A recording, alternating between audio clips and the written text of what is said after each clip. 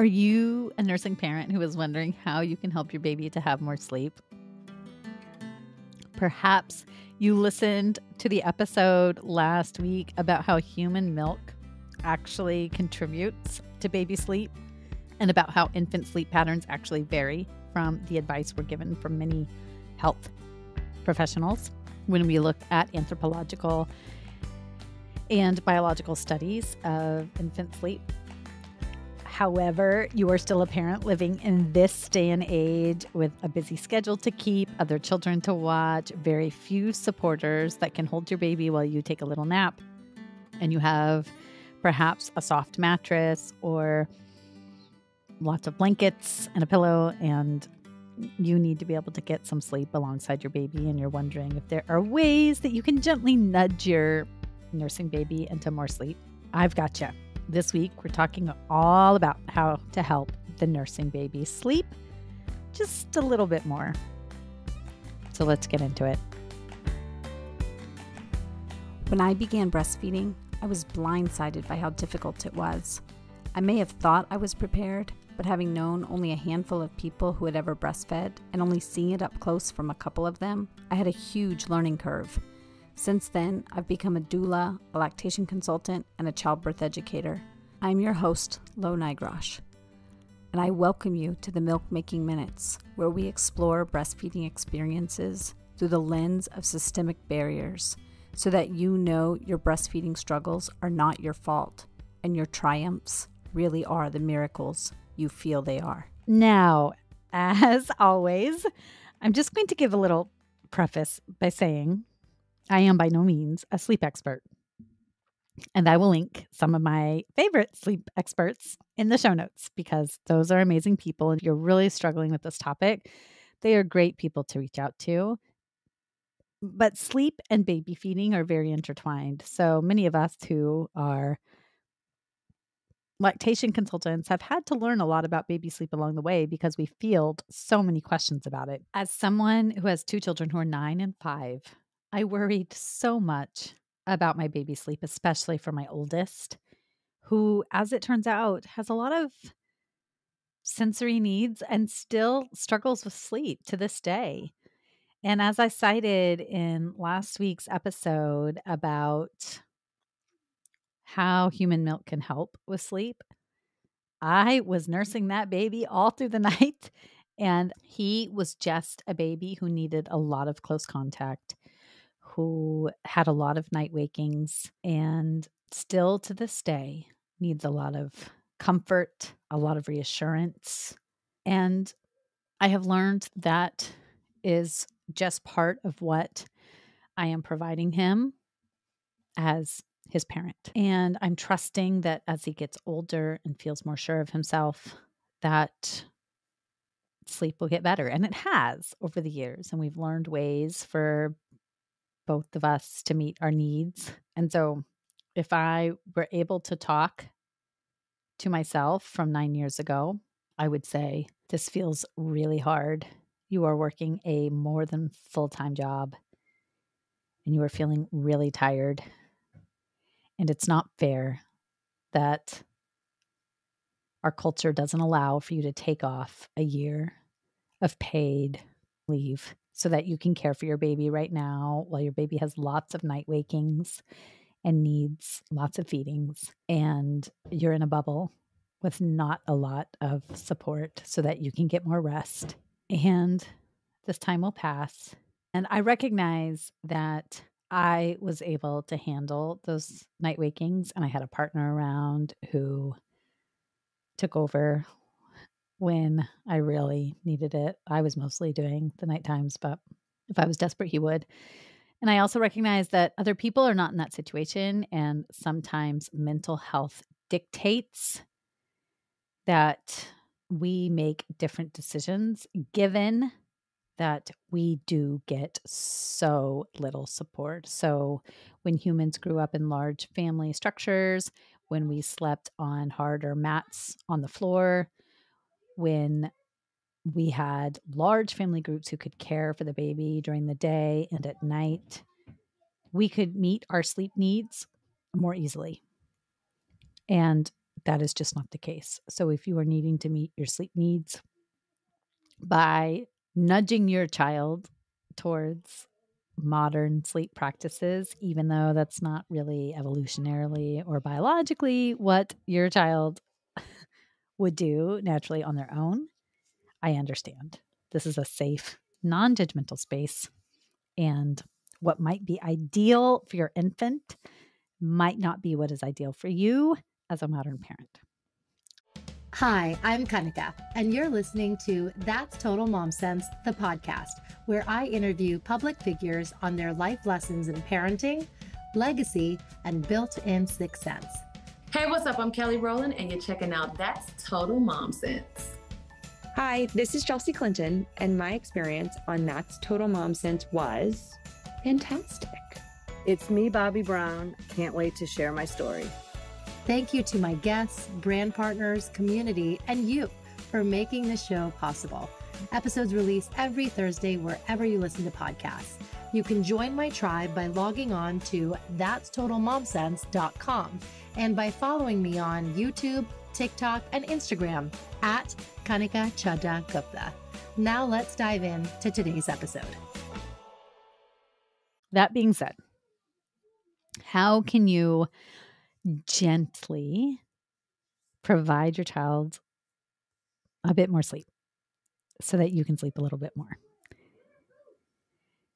The next thing I want to say is often when we become parents, we feel like we still need to do all the things for our household and for our social lives that we used to do before. And that causes us to get less sleep. Like we want to have the same laundry schedule. We want all the dishes to be clean before we go to bed. We want the floors to be swept and mopped as they were before. We want the bathroom to be cleaned as consistently as it was. But we have way fewer hours in the day. I want to give you the permission to give yourself the permission to say, screw the dishes. I'm going to go to bed at eight o'clock when my baby goes down for a good long stretch of two hours, if that's as long as your baby will sleep, because I had one of those. So I can get a little bit of extra sleep. If you need to move to paper plates for a while because the dishes bother you, do that. There are always ways to make life more manageable if the baby is not making life more manageable. And if you need help strategizing these things, if you have tried everything and the baby is just not getting the memo of what you would like the baby to do, and you just need somebody who's a little bit more removed from the situation, who's not as emotionally attached to the situation, who will listen to what your goals are and not impose their own goals onto the situation, but who understands fully the hormones of human milk production, who understands baby sleep cycles, who can help guide you on milk storage capacity, on baby hunger signals, on baby development. I would love to be that person who helps you strategize this. So if you've tried a lot of things and it's not really working and you're feeling discombobulated still, all of my information is in the show notes. We can meet virtually or in person if you are nearby. So www.quabbinbirthservices.com. So you can look for ways to change your own life. Secondly, you can start thinking about how you change the environment to make it more likely that the baby will sleep. Some of the things you can do to help with the circadian rhythm of your baby is lowering the lights at night. This is something I've been trying to do with my nine and five year old more regularly. Once we hit that after dinner time, I go ahead and turn off the kitchen lights. I turn off the living room lights. I turn off the hall light and I turn on just one low lamp so that we can see we can read books, but I try to indicate to our brains that it is now dark by turning off all the lights in the house. This will help your baby as well. Um, it'll also help your own brain to turn off. Then the other thing is spending lots of skin to skin time leading up to that time when you would like your baby to start getting sleepy.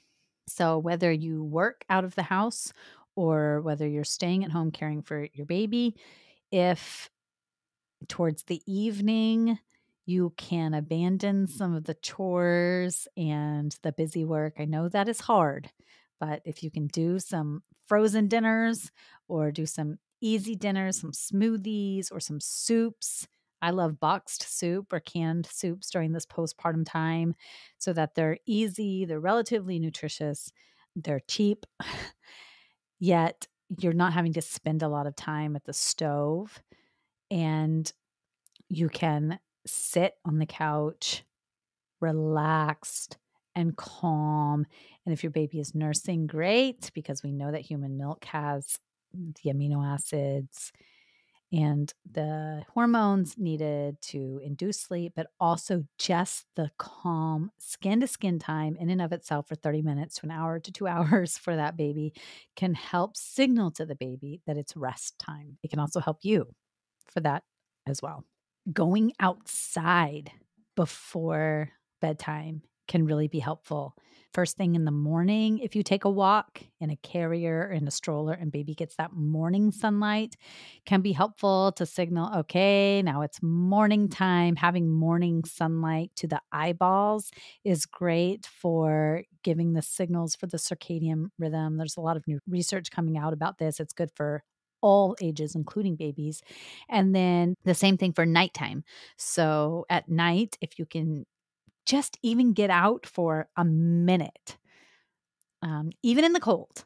Wrap yourself up, put your baby in a carrier. Babies are very resilient in those carriers next to your body heat. And look at the stars for a minute, look at the sky, walk around the block, just walk up and down your street for a second. If you can take a longer walk, great. This will signal to your baby that it's nighttime. It'll help their circadian rhythm and it will help begin to signal that it is sleepy time when they are out under that nighttime sky. We are exposed to so much artificial light.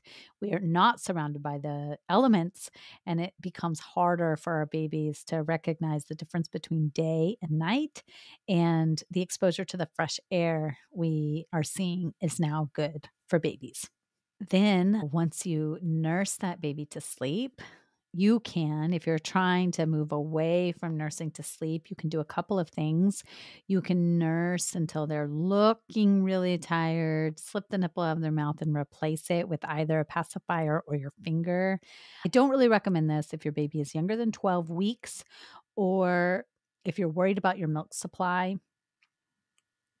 But if your baby is older than 12 weeks, or your milk supply is well established and baby is just about to drift off into sleep and they will tolerate you slipping the nipple out of their mouth.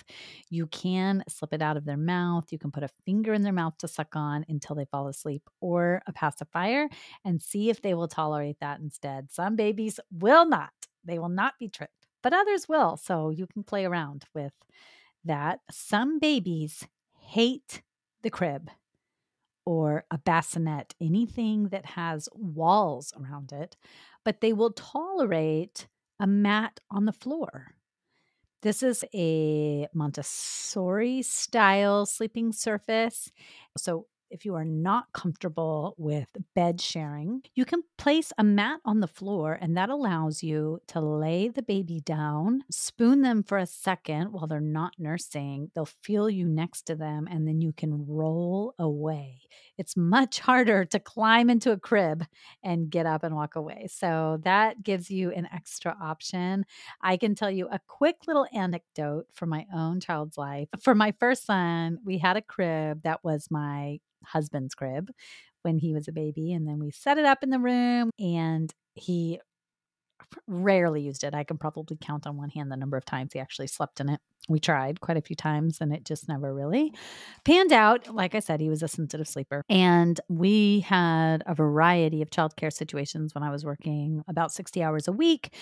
And the childcare situation that we ended up in full time for a couple of years was a Montessori school that started in infancy. At his previous daycare, he had not taken naps. And they had said, We don't have time to rock babies to sleep. And I was very appalled by this. I cried every day on my way to work. I just knew he was not very well taken care of. But we had had a neighbor taking care of him who was lovely and then she ended up getting a job and we needed to find other childcare so we had this quick turnover and so now here we are at the montessori school and i said to them he won't sleep in a crib and he really prefers to be rocked to sleep and they said, Do you care if we rock him to sleep? And I said, Absolutely not. That's fantastic. I would love that. And then the second thing they said is, Do you mind if we lay him down on a mat? That's a Montessori style. And I said, and he was young. He was just a few months, maybe four or five months. And I said, Oh, yeah, I would love that. I said, He normally co sleeps, so maybe the mat will work. And that very first day, he slept, he took a nap for three hours. he didn't even nap for three hours at home unless he was in a carrier. And that's when I knew he was going to be well taken care of there. So sometimes having a different sleeping surface that is not a crib or a bassinet can really help them to feel safe and secure. And then if they wake, they might be more easily settled if you can just go lay down next to them, even if it's not in your own sleeping surface. And then if you're trying to lay your baby down, hold your baby for about 20 minutes or so after the eyes close. There's a much better chance that they won't fly open again as soon as you you lay your baby down that's when they get into that deeper sleep and and then as your baby gets a little older you can start a predictable bedtime routine. So, this is six months and older. You can start to brush their gums or teeth with a wet washcloth. You can start reading together, singing favorite songs, all quietly in the same order. You can start nudging them towards shorter nursing sessions by slipping your finger into the corner of their nearly asleep mouth. You can spoon them on that mat or in your sleeping surface if they're sleeping there. So, these are all ways that you can try to get a little more sleep. I want to hear from you. I would love to know the ways that you got more sleep as you were nursing your baby. So please join my Milk Making Minutes community group on Facebook. This is a place where both perinatal health professionals and parents come together and talk about the challenges to feeding babies human milk, what makes it difficult.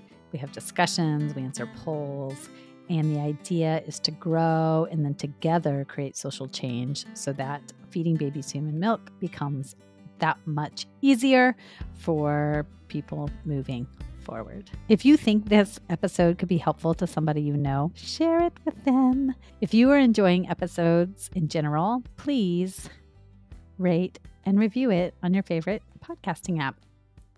Thanks. Bye.